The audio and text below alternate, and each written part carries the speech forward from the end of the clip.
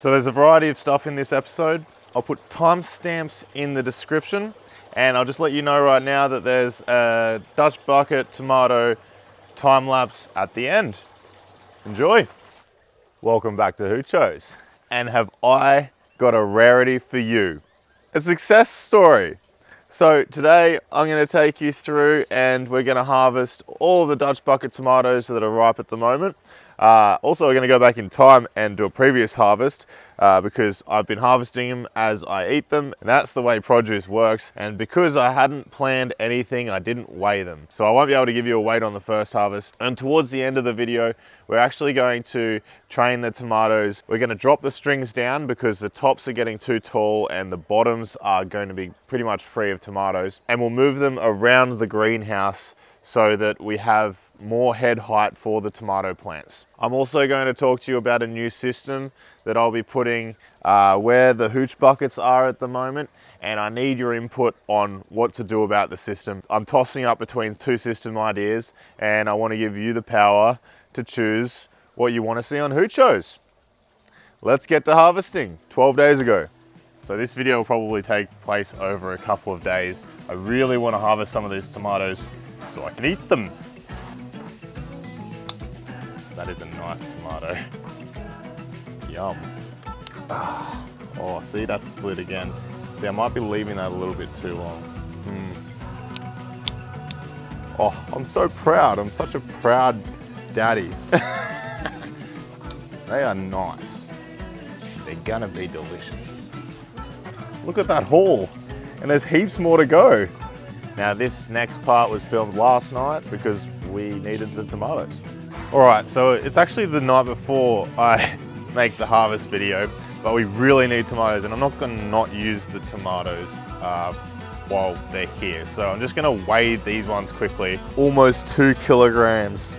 So for the Americans, 68.5 ounces. All right, let's pick them.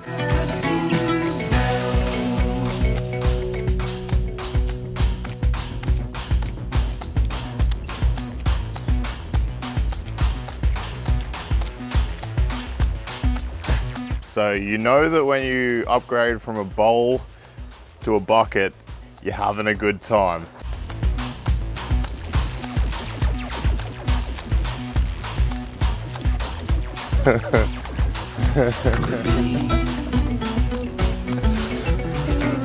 All right, let's weigh it then. It's overloading the scales. All right, we're gonna have to do this a different way. human scales. So this is definitely going to be less accurate. 10.1 kilograms. Holy moly. that's, that's a lot. So this bucket weighs about 300 grams. Uh, we can probably take 300 grams off that. 10 kilos.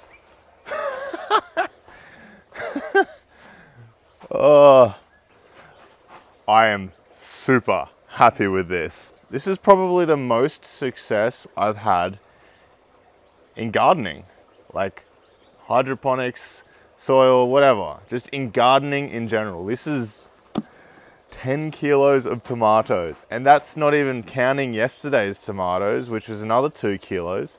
So, and then the first lot of tomatoes, yeah, yeah, Yep, yep. this is happy hydroponicking. All right, so now, now that we've got our 10 kilos of tomatoes, uh, I'm just gonna go and clean up all of uh, the places where the tomatoes were growing and then we can drop them down. All right, so as you can see, this one I dropped down probably a week ago or so. I just wanted to try out, see how these spindles worked and that one had the least tomatoes on it and I didn't want to drop the tomatoes down with a ton of weight on them. Uh, not that I don't think I could handle it, it's just I want to be as careful as possible because I've not started with the spindles, I actually started with uh, the jute twine. I'm actually going to remove the jute twine off of all the tomatoes and move over to these uh, poly spindles. I'm going to use the spindles to lower the tomato plants and move them across one. I'll eventually be able to move these all the way around the greenhouse until it gets, you know, ridiculous. I'm not really sure how long you should keep indeterminate tomatoes growing, um, but we'll find that out, I guess. I'm going to hold on to polyline and cut the jute twine. Look at that.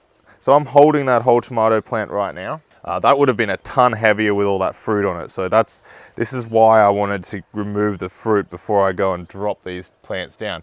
So to drop it down, uh, all I'm going to do is spin this spindle because it's wrapped around it, move it across, and then hang it over this wire. And our tomato plant's now dropped. While I'm up here, I'm going to support the tomato plant by just tying it to that poly line like that.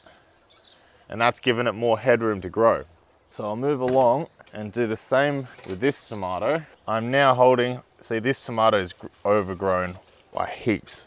So uh, I really need to drop that down. And we can tie that to the string as well. I really like this system. It's working very well. I don't want to speak too soon.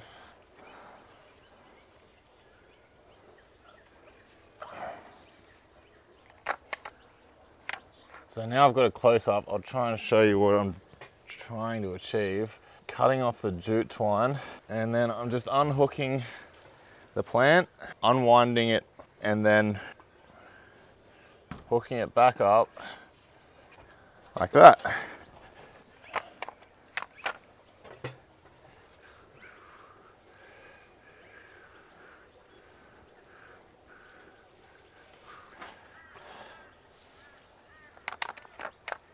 much better.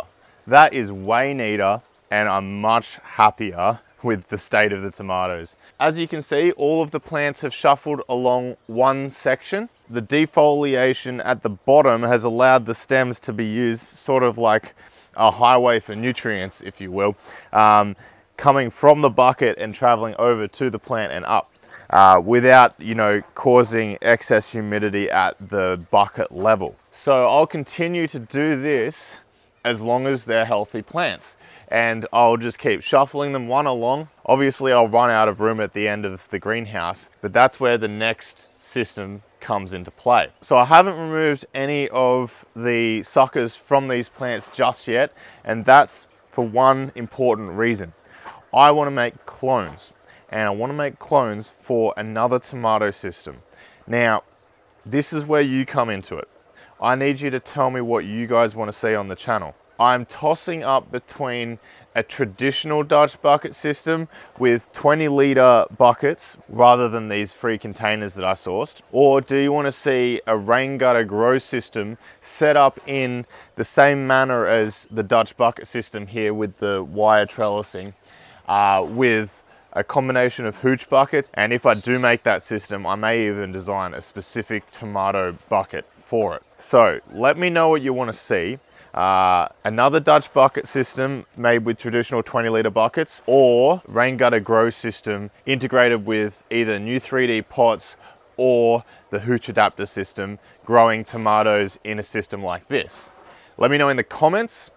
Like the video if you like the video. And thanks for watching finally a success. A real happy hydroponicking.